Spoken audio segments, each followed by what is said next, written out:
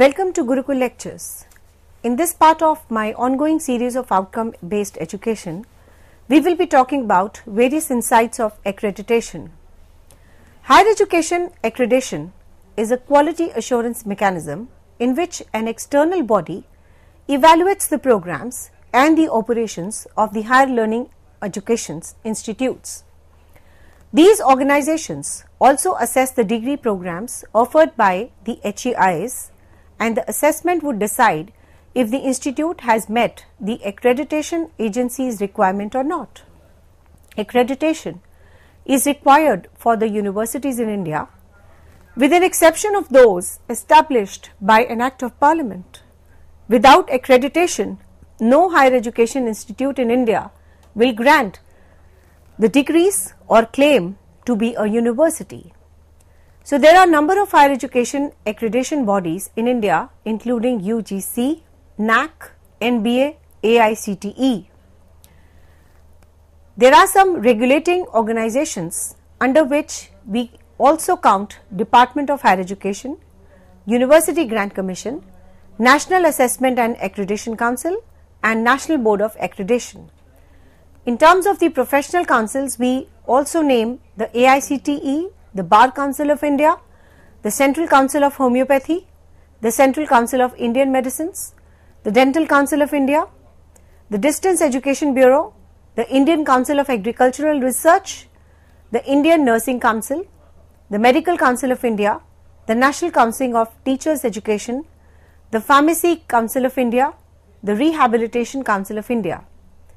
In terms of the institute, we have it at the central level, the state level, the deemed private university and other autonomous institutes. You when you talk about the institutions by type, we have agriculture, architecture, business, dentistry, engineering, forestry, Islamic law, medicine, nursing, pharmacy, teaching and veterinary. In terms of the institutes by the state, we call upon Andhra Pradesh, Arunachal Pradesh, Assam, Bihar, Chandigarh, Chhattisgarh, Delhi, Goa, Gujarat and Haryana. Himachal Pradesh, Jammu and Kashmir, Jharkhand, Karnataka, Kerala, Madhya Pradesh, Maharashtra, Manipur, Meghalaya, Mizoram, Nagaland. Odisha, Puducherry, Punjab, Rajasthan, Sikkim, Tamil Nadu, Tripura, Uttar Pradesh, Uttarakhand and the West Bengal. Now let us talk about the Accreditation Council that is the National Assessment and Accreditation Council in detail. It is a government organization in India that assesses and accredits the higher education institutes that is the HEI. It is an autonomous body funded by University Grant Commission and it is headquartered in Bangalore. NAAC was established in the year 1994 in response to the recommendations of the National Policy in Education 1986. This policy was to address the issues of deterioration in the quality of education and the program of action 1992 laid out the strategic plans for the policies including the establishments of an independent national accreditation body.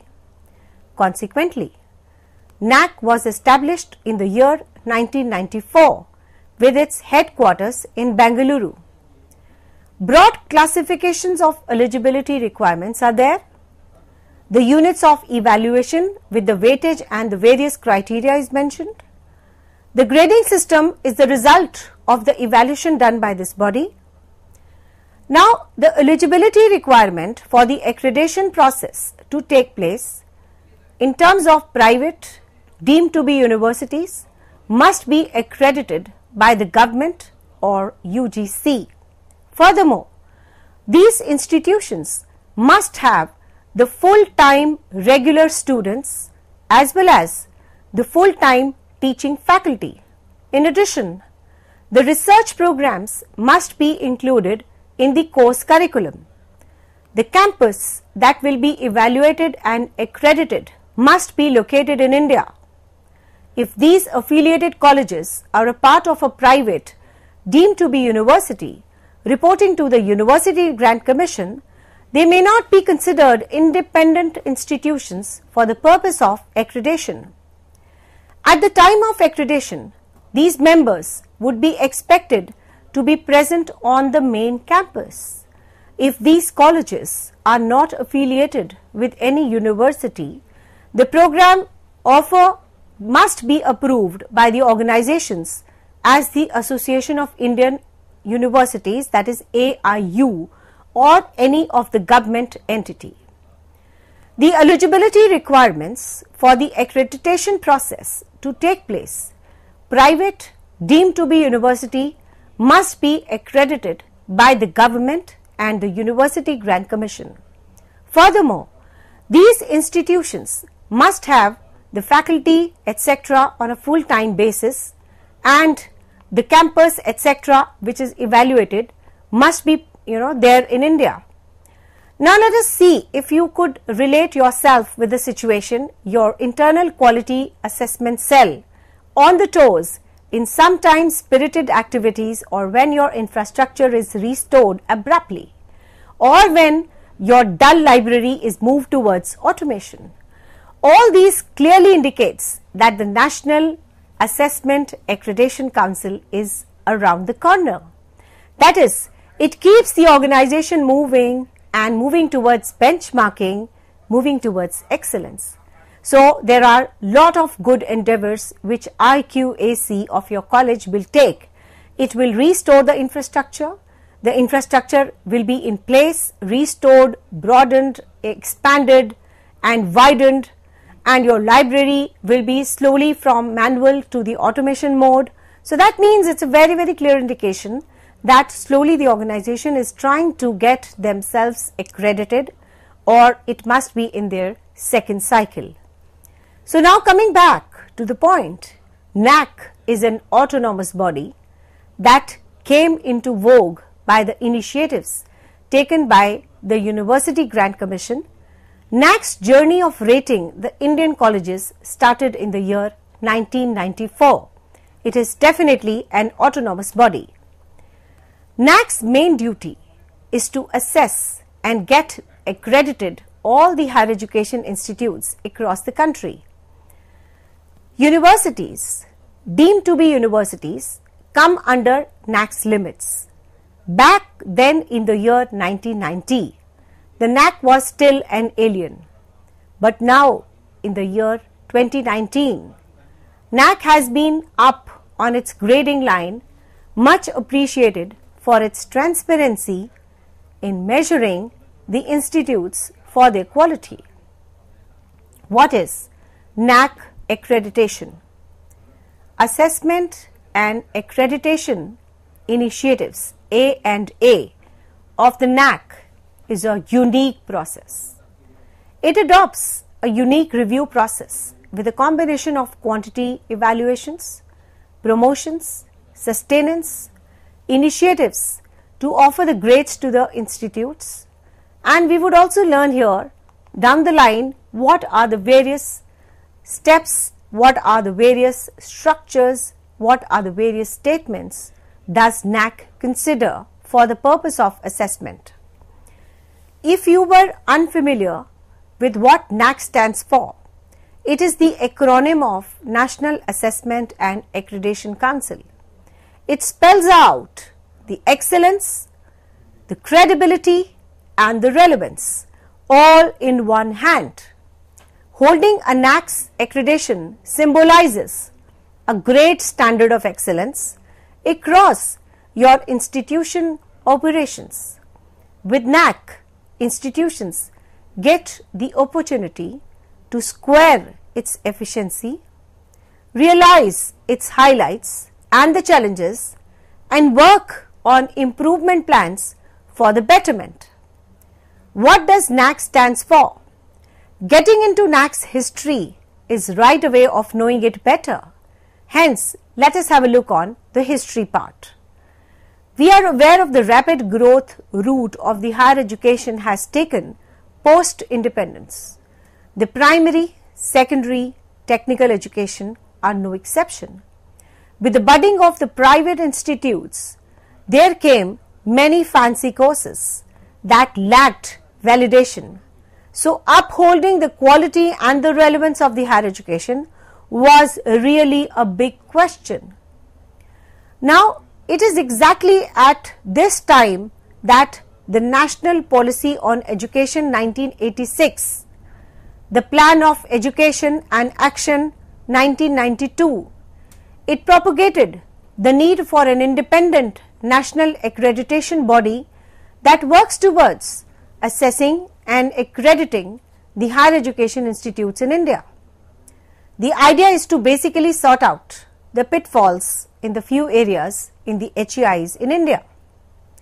To organize the periodic assessment and the accreditation of the institutes, units, specific academic programs, projects of the higher education, to promote the quality of teaching learning and the research in the higher education academic environment, to stimulate the areas like self-evaluation, accountability, autonomy and the innovations.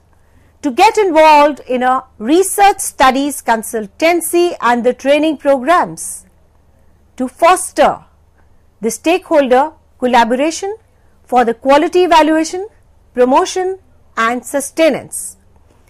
NAAC maintains or upholds the quality of HEIs through collaboration, stakeholder involvement by bringing more accountability, transparency and the self-evaluation system. To appear for NAAC, an institute should actually be considering eligibility. Here are NAAC eligibility criteria. Both university colleges can appear for NAAC provided they comply with the following terms and conditions. All universities from central state, private and deemed to be an institution showing of national importance. The institution's campuses should be very much in the country to proceed with the assessment and accreditation that is A and A process.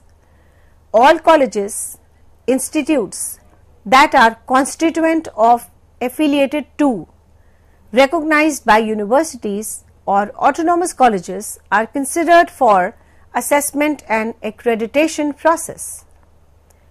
Any department, school or the center of university can apply for NAAC accreditation process. The NAAC accreditation process of quality assurance is similar to those are followed by other quality assurance agencies present worldwide. According to the revised accreditation framework popularly called as RAF, RAF, NAAC has a timely step-to-step ICT enabled accreditation process. The new processes of student satisfaction survey, data verification and validation that augments the full objectives of the NAAC. We could also feel the pressure to get the NAAC accreditation. We therefore have broken these big processes into the seven steps without affecting its flow. The first is the Higher Education Institutes registration in the NAAC website. Institutional Information for Quality Assessment IIQA. SSR that is the self study report submission on the acceptance of IQA on the rejection an institution has two attempts to resume the IIA form within a year. Then proceeding to data validation and verification that is DVV process and pre-qualifier score. Preparation towards the student satisfaction survey that is triple S the on-site peer team visit by NAAC. NAAC announces the institutional grading and of course the criteria are split up as so well that it involves the institutional stakeholders working together.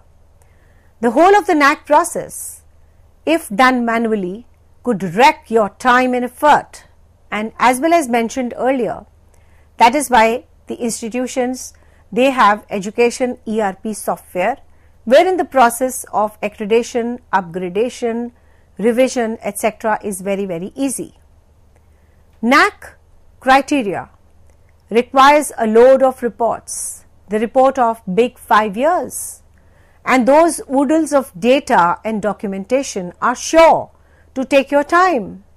Compilation of all of them by yourself might seem a possible task, but we have to be very watchful so that the report which we make are error free that might come along and seriously if we are not serious about the compilation part we can put the organizational credibility at bay. The institutional resource planning software or the campus management system that you choose should streamline and improve the whole institutional process towards getting accredited. Right from the administrational operations to the academics, the outcome based education curriculum, the library management, everything would be refined, especially in the NAAC process. In the steps like IIQA and SSR, a software intervention would really help you the most.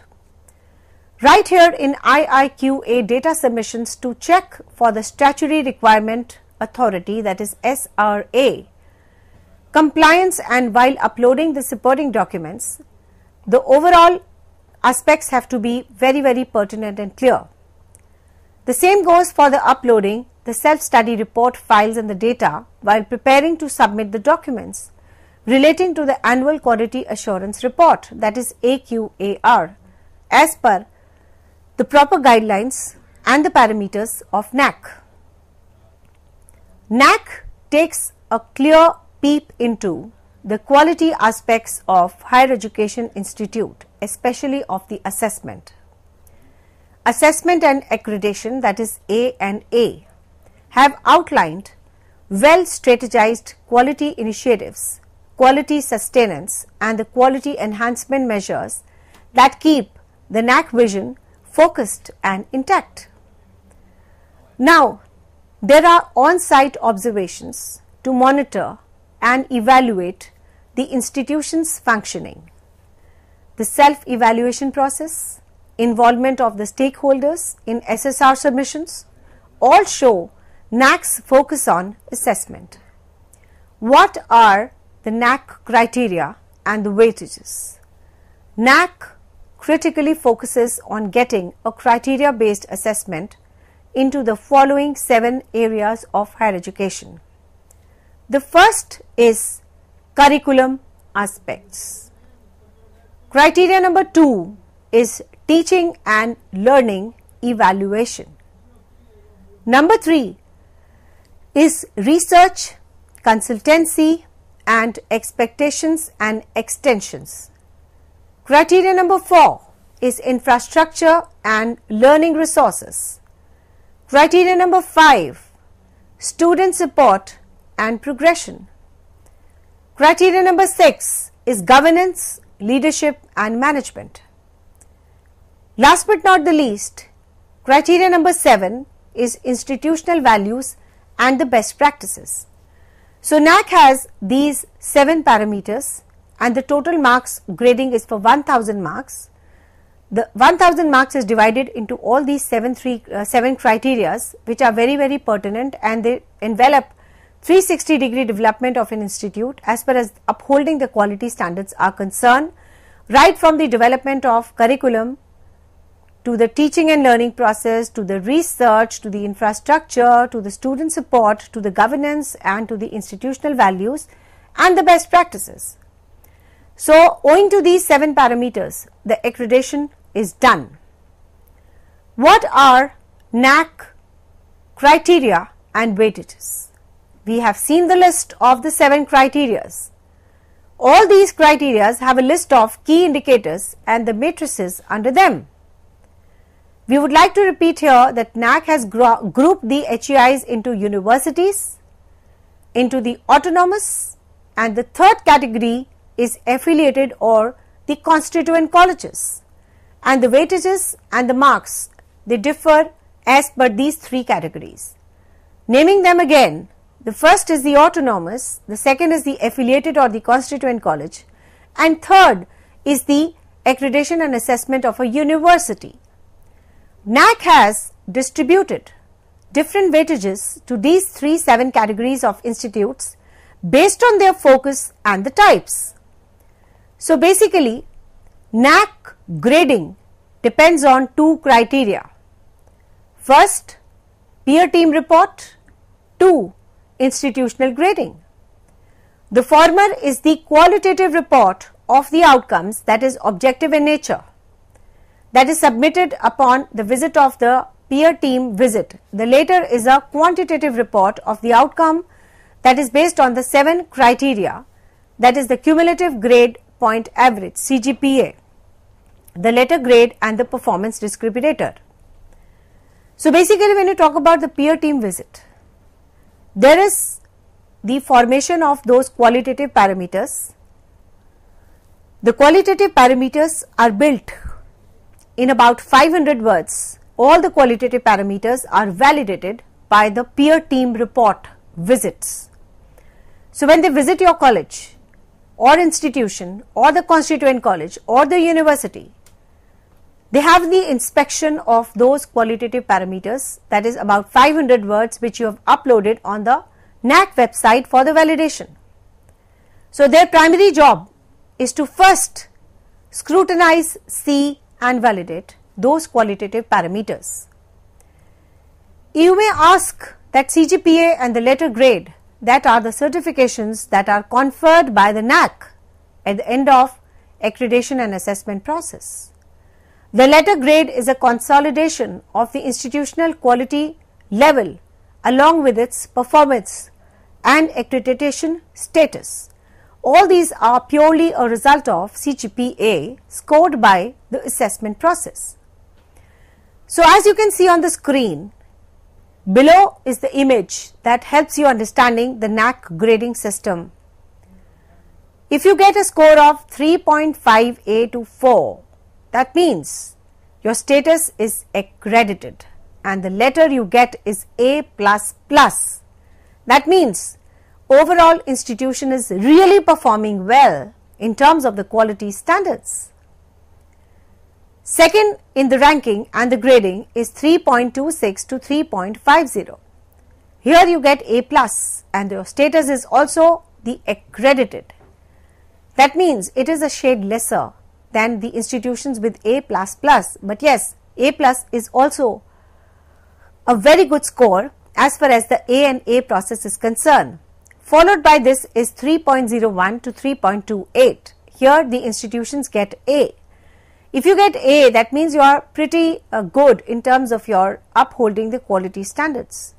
If you get between 2.76 to 3, you are a B++, followed by 2.51 to 2.75, you are B+. That is, you must be having some issues relating to your infrastructure, etc. Followed by B, which is up to 2.50. If you are below 2 or 2, you get a, a score called C. In C grade also you get a certificate of, you get accredited. But yes, if you are less than 1.50, you get D. That means you are not accredited. This is a very, very bad symbol and the signal and the grading owing to which probably you have to shut your organizations.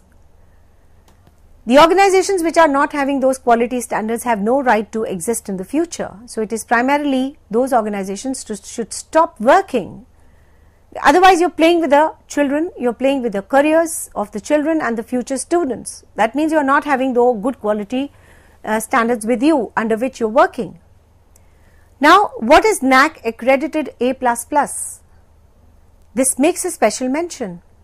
NAAC new grading system qualifies the higher education institutes with a letter grade status. With a time tested matrix patterns and procedures, it is indeed tough for all the higher education institutes to aspire and get A++ grade from NAAC. The evidential data submissions add to 70% of the total score. The peer team visit or the physical verification gives the qualitative contribution of 30%. This is the revised accreditation framework that is 70 and 30. 70% uh, you get you get marks on the online submissions and 30% for the physical verification that is the peer team visit. To be more precise, higher education institutes with their cumulative grade point average that is the CGPA ranging from 3.76 to 4. The achieved letter grade is A++. They are said to have achieved their highest grade of accreditation in the seven criterias. Only 4% of the Indian educational institutes are accredited with A plus grades. So, overall we can see that number of organizations which are getting accredited are more compared to those who are having a highest grade that is A A, A and B and B. What is this? That means we are lagging behind in terms of the quality standards and we all have to work hard to achieve it. The higher education institutes that falls between a CGPA of 2.76 to 3 fall under B, B++ category. Similarly, the NAAC grievance redressal and the fee structure is also very very important parameter. The NAAC processes involves a partnership approach between the NAAC team and the institution that is being assessed. The process here hence is believed to be transparent, clear and complying with NAAC's values and the notions. Irrespective of these, there are chances for grievance to occur. Grievance materialize when the institution is not happy with the status issued by NAAC. To deal with this, NAAC has a very clear grievance redressal guidelines as a new mechanism to add aggrieved institutions. We would like to mention here that the mechanism of appeal process is similar to the existing one. There are new revisions made, no new revisions are made in this under the revised uh, accreditation framework. But if there are uh, any in the future, definitely they will be updated on the NAAC website. But immediately the NAAC announces its status and if the institution is not happy, they can, uh, you know, they are not happy, they can write a letter of grievance which could uh, you know it could request a letter of intent. This appeal requesting the criteria wise scoring should reach NAAC within 30 days upon receiving the letter intimating the accreditation status from the NAAC. That is if the result is announced within a month's time you have to report that you are unhappy with the results etc. This appeal uh, should be submitted with a non-refundable fees of about 20,000 inclusive of 15% service tax because here the expertise and the intellectual people are again required to review the process. On receiving this letter, appeal of committee of assessment and accreditation takes the charge and this would then mean taken into the executive committee who is fact uh, his uh, you know word will be final. So, all these parameters I hope uh, the things of uh, NAAC accreditation are very clear to you how the assessment take place, what is the process, what is the meaning, what are the regional agencies, what are the local agencies. So, all these things uh, they all help in the A and A process that is assessment and accreditation process which is the need of today to uphold the quality standards of all the higher education institutes.